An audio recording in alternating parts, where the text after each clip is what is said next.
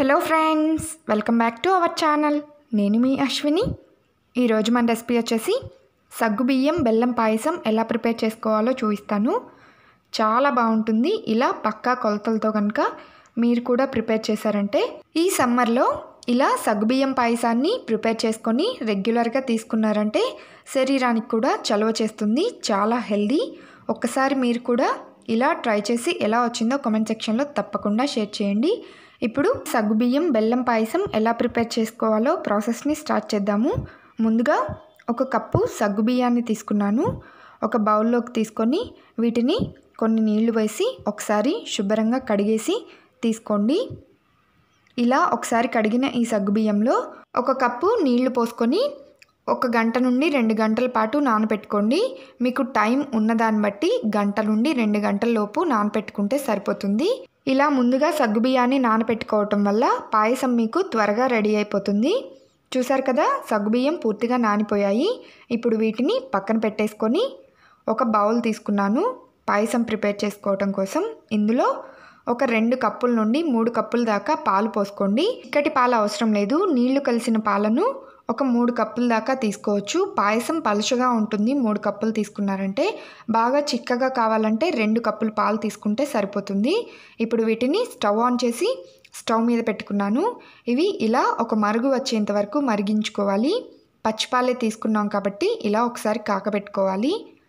ఇప్పుడు ఇందులో ముందుగా మనం నానబెట్టుకున్న సగ్గుబియ్యాన్ని వేసి ఉడికించుకోవాలి. ఇవి చాలా త్వరగా రెండు మూడు నిమిషాల్లోనే ఉడికిపోతాయి. చూసారు కదా? ఇలా సగ్గుబియ్యం మొత్తం వేసి ఇవి పైకి తేలేంత వరకు ఇలా కలుపుకుంటూ స్టవ్ని హై ఫ్లేమ్లో పెట్టుకొనే ఉడికించుకోండి. ఇలా బాగా కలుపుతూ ఉడికించుకున్నారంటే సగ్గుబియ్యం త్వరగా ఉడికిపోతాయి అడుగు కూడా అంటదు. చూసారు కదా? సగ్గుబియ్యం ఇలా పూర్తిగా పైకి వచ్చేసాయి. ఇలా వచ్చేస్తే సగ్గుబియ్యం ఉడికిపోయినట్లే. కేవలం రెండు మూడు నిమిషాల్లో సగ్గుబియ్యం ఉడికిపోతాయి. ఇప్పుడు ఇందులో ఒక హాఫ్ స్పూన్ ఇలాచీ పౌడర్ వేస్తున్నాను. మీ దగ్గర యాలకులు ఉంటే యాలకులైనా వేసుకోవచ్చు. నేను పౌడర్ వేసుకున్నాను. ఇది ఇందులో బాగా కలిసేంత వరకు కలుపుకోవాలి. ఇలా సగ్గుబియ్యం పూర్తిగా ఉడికిపోయి వాటర్ కలర్లోకి వచ్చేస్తాయి చూడండి.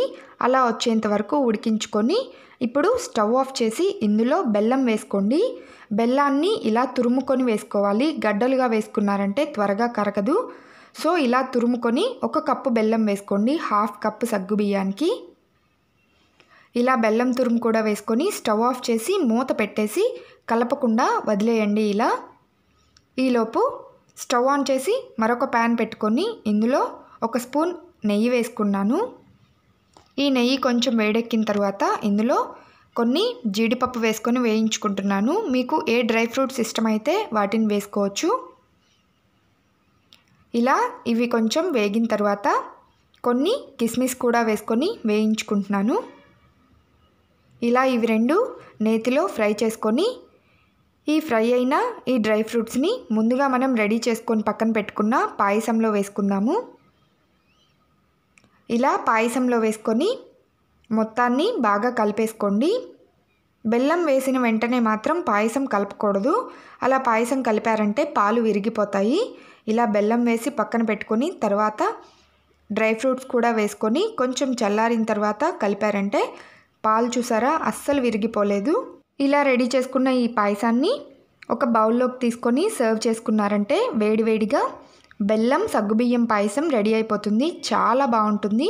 ఒక్కసారి ఈ పద్ధతిలో పక్కా కొలతలతో చేసుకున్నారంటే సాయంత్రం దాకా కూడా చిక్కబడకుండా ఇలానే ఉంటుంది. ఒక్కసారి ఈ పద్ధతిలో పాయసం ట్రై చేసి ఎలా వచ్చిందో కామెంట్ సెక్షన్లో తప్పకుండా షేర్ చేయండి.